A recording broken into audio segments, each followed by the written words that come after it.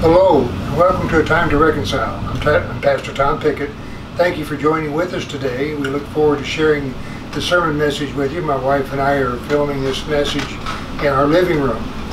The title of today's message is Emptying Ourselves to Fill Ourselves with Trust in Jesus.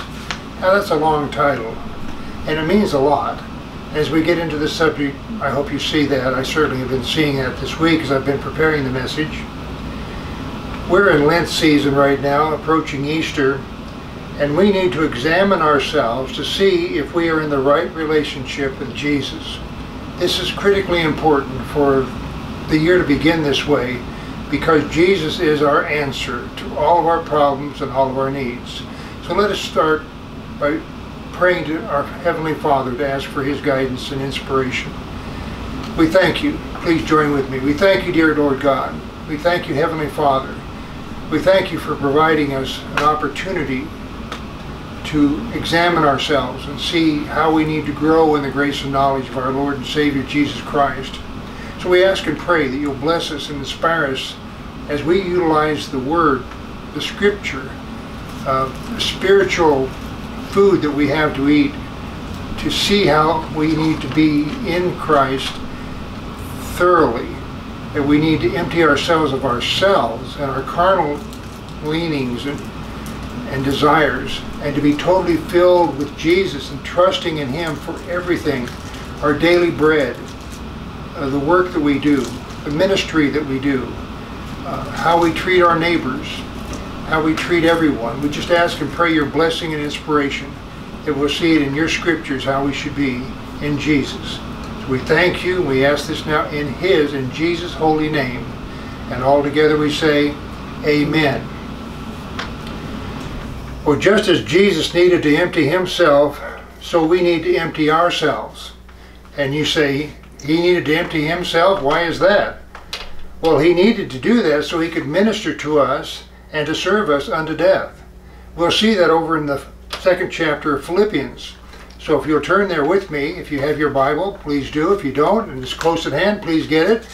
I have the NIV version, and we want to look at Philippians, the second chapter, beginning in verse 1 today. Philippians 2, verse 1. Therefore, if you have any encouragement from being united with Christ, if any comfort from his love, if any common sharing in the Spirit, if any tenderness and compassion, then make my joy complete by being like minded, having the same love, being one in spirit and of mind, to be just like Jesus, because now as we believe in Him, He lives in us, He lives in our hearts. So in verse 3 do nothing out of selfish ambition or vain conceit, rather in humility value others above yourselves, not looking to your own interest, but each of you to the interest of the others. And that's exactly how he treats us, and that's how we should treat each other. In verse 5, in your relationship with one another, have the same mindset as Christ Jesus, who, being in very nature God, did not consider equality with God something to be used to his own advantage. Rather, he made himself nothing.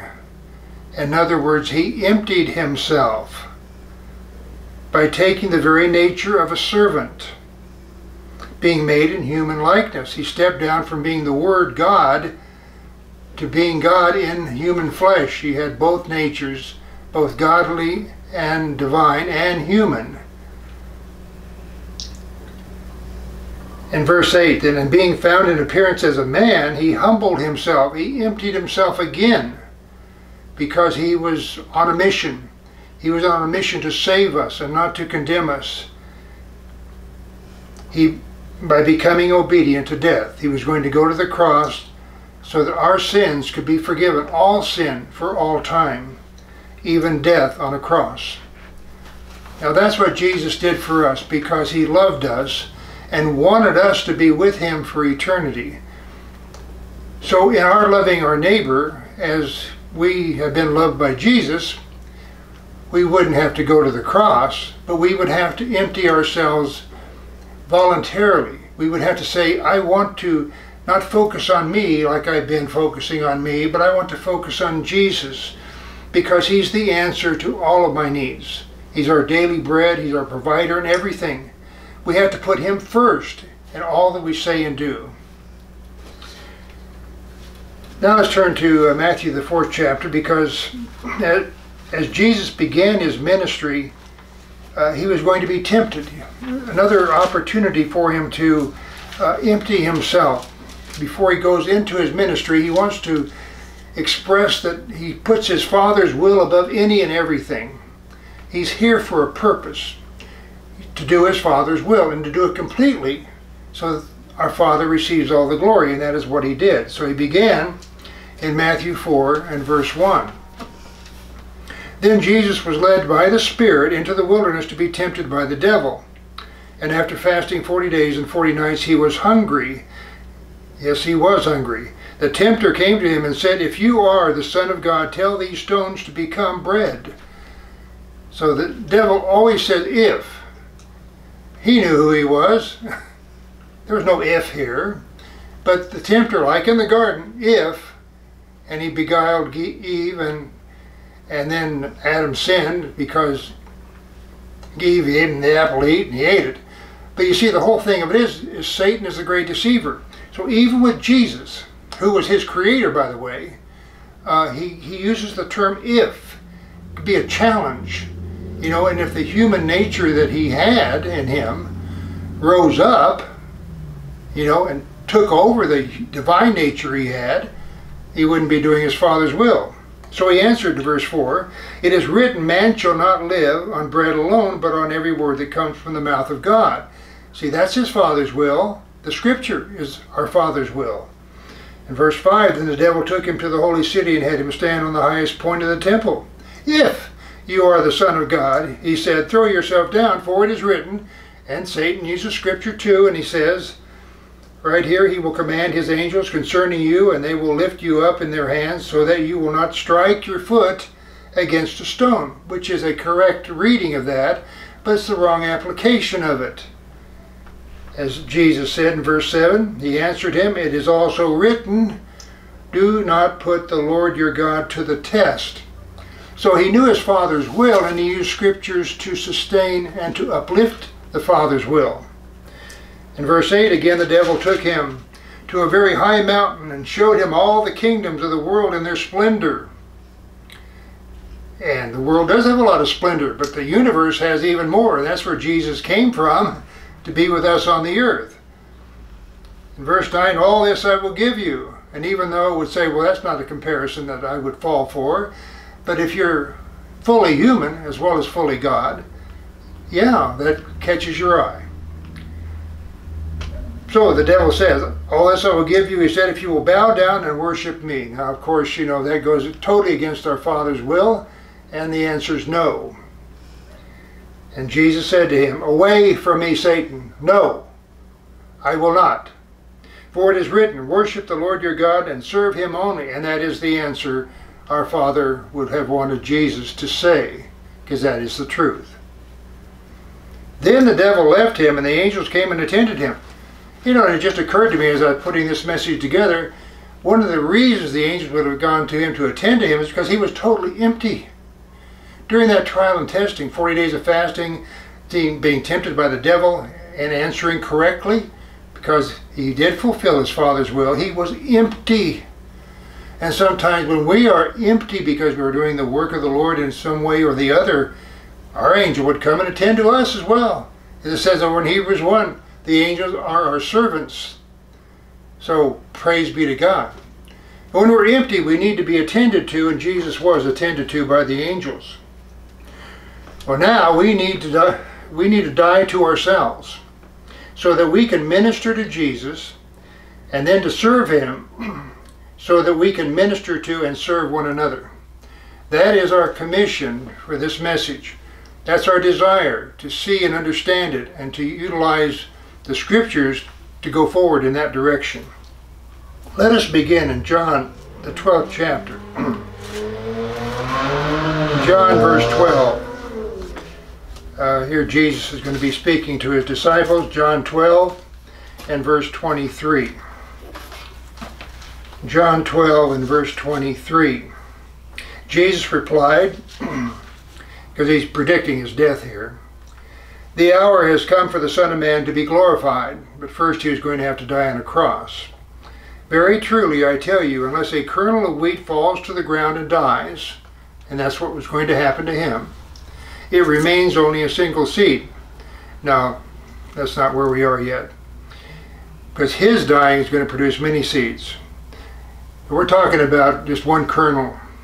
Jesus was going to die for all of us. The gospel would include many seeds in it because he died for all of us. But if it dies, it produces many seeds. See, so that's what was going to happen.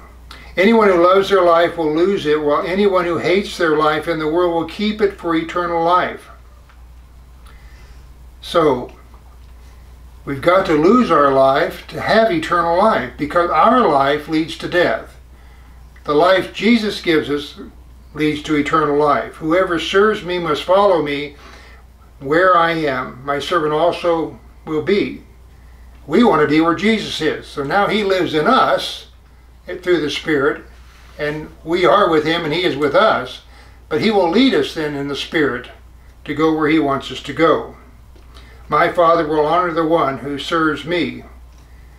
And that is true. So you see, we have to give up our life voluntarily to have his life for eternity. It's what he did for us. You see, he died on the cross so that all could be saved. I mean, what love is that? That our Creator would do that for us. There's a love that is beyond me. Even though I've known Jesus my whole life, I realize I grow in His love. It's just beyond me. And I just love and appreciate it so much. And I hope and pray you do too. That's what Jesus would want for all of us. Now, over in Matthew 16, Jesus also speaks to his disciples. Matthew 16, beginning in verse 24.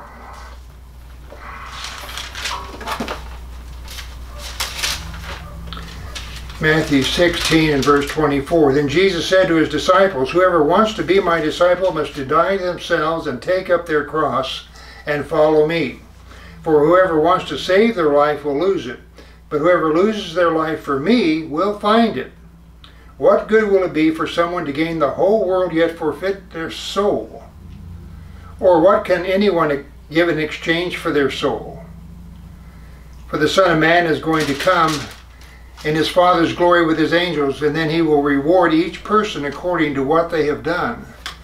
In other words, what we've done in following Jesus and the fruit that he brings about in our lives and in our ministry.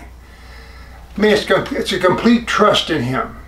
We give our lives over to him so we can, he can do with us whatever he wishes. But we know him because he is the full expression of our Father's love, that he only has the best in mind for us he will never leave us or forsake us. He will never lead us astray or go down some road that we shouldn't go down. We go down the right road, the road of life always. And we can we can know that. Over in uh, Mark 8 now, if you'll turn there, in Mark the 8th chapter, beginning in verse 34. Mark 8 and verse 34.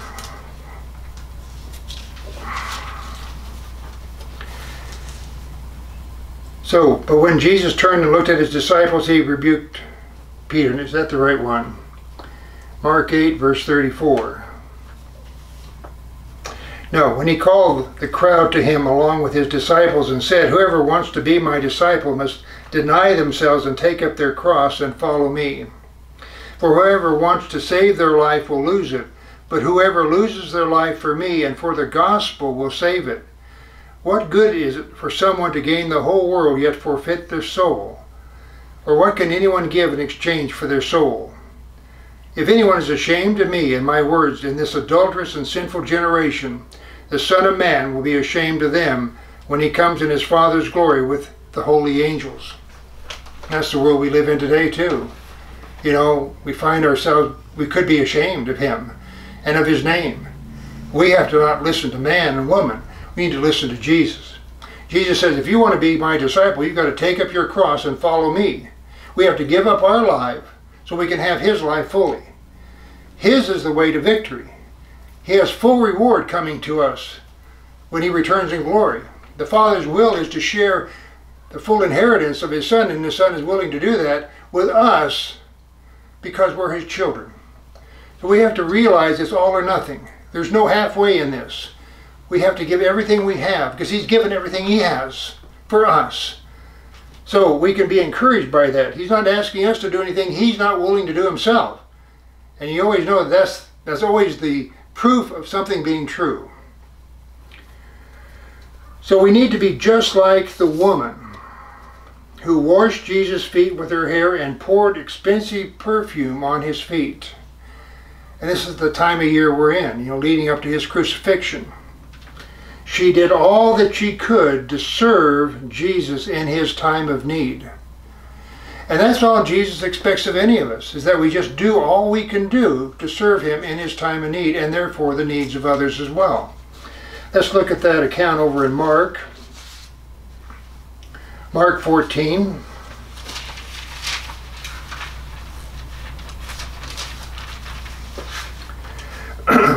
Mark 14, verse 1.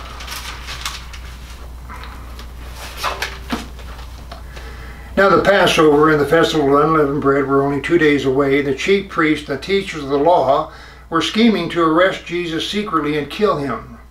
But not during the festival, they said, or the people may riot. And while he was in Bethany, reclining at the table of the home of Simon the leper, a woman came with a, an alabaster jar of very expensive perfume made of pure nard, and she broke the jar and poured the perfume on his head. And some of those present were saying indignantly to one another, Why this waste of perfume? It could have been sold for more than a year's wages and the money given to the poor. See, that's what the self righteous people say. And they rebuked her harshly. Then Jesus speaks. Leave her alone, said Jesus. Why are you bothering her? She has done a beautiful thing to me. The poor you will always have with you, and we do today. And you can help them anytime you want, and we do that too. But you will not always have me. Today we always have Jesus, but then that was not yet the case. Verse 8 She did what she could. She did what she could. That's all Jesus ever expects us, any of us to do.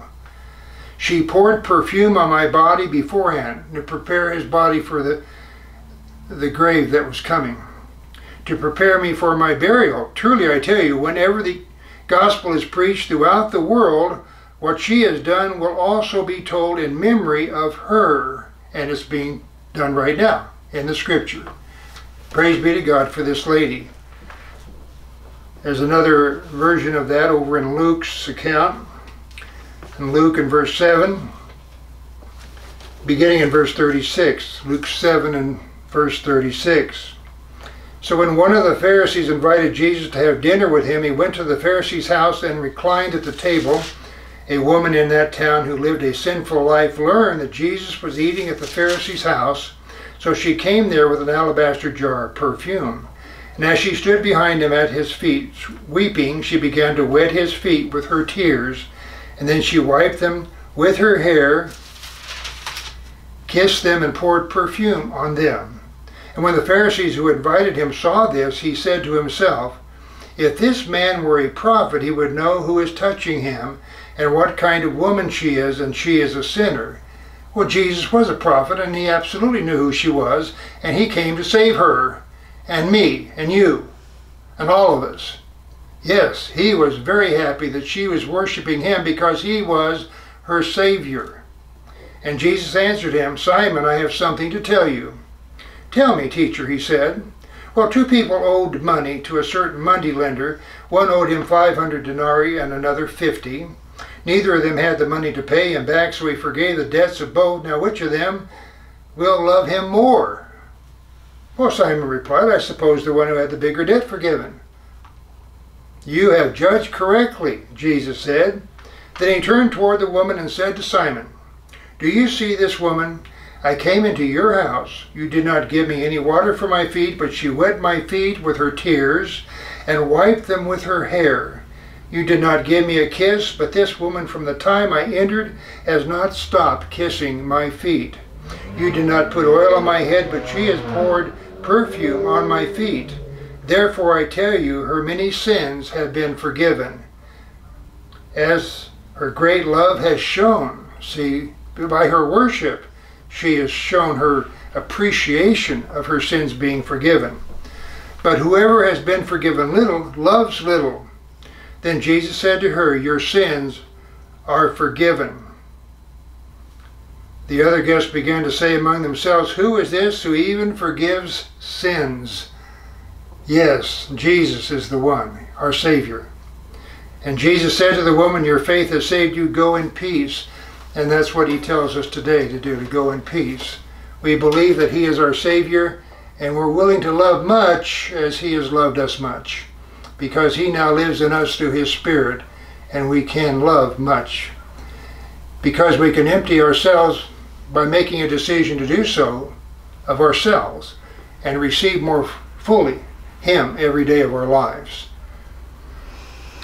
So we see today how we can be the new creation that we are in Jesus by joining with Him to do His ministry of His reconciliation with our Father. See, there is something He wants us to do, and it's found over in 2 Corinthians 5. 2 Corinthians 5, beginning in verse 14. 2 Corinthians 5 and verse 14. For Christ's love compels us so when we have emptied ourselves and do that on a daily basis and we continually receive the fullness of Christ, growing in His grace and knowledge, His love compels us because we are all convinced that one died for all and therefore all died and we all participate in it because we believe it. And one way of showing that is we're baptized to show that we believe that truth. It's a, it's a confirmation of our belief that He died for all. And he died for all that those who live should no longer live for themselves, but for him who died for them and was raised again. So, what Jesus has in mind for us to do, we're all for that to happen. We want to participate in that and have it go around the world so everybody can come to that truth and understanding and believe in him. Verse 16, so from now on we regard no one from a worldly point of view. Again, we're emptying ourselves of our carnal impulses and desires and we're receiving fully because we reach out to Jesus to completely fill us with His Spirit and His way of loving people. And we have a different point of view. Though we once regarded Christ in this worldly way, we do so no longer. Therefore, if anyone is in Christ, the new creation has come because the Spirit of God lives in us. The old is gone, the new is here, right now, as we believe. All this is from God, our Father. It was God the Father who sent Jesus. And He sent Jesus so that He had, could have the reconciliation take place that has happened. You see, before reconciliation with our Father could happen, Jesus had to die for all sin to be paid. And we've all had that happen. We are now clean because the sin has been forgiven. And it is eternal. That's why we have this time of grace, because our sins have been forgiven. So our Father, who reconciled us to himself through Christ, he sent his Son Jesus to us to do that. And therefore, we are reconciled with our Father because sin has been forgiven. And he, our Father, has given us to Christ that we could do the ministry of his reconciliation.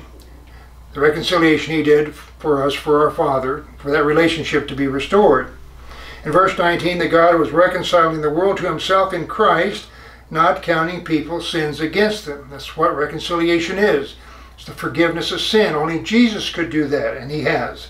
And he has committed to us then the message of reconciliation. Our Father's counting on us to do this for him, to do and join with his Son's reconciliation ministry you know, it's been done at the cross and after the cross, at the resurrection and at the giving of the Holy Spirit. But now it needs to go through, around the world. We need to minister to people who've been abused by Satan and his society and his ways to know God and God's love in the way that Jesus has reconciled us to our Father. This is critically important for today's world that we live in. In verse 20, we are therefore Christ's ambassadors, representing his kingdom of light, as though God were making his appeal through us. We implore you on Christ's behalf, be reconciled to God.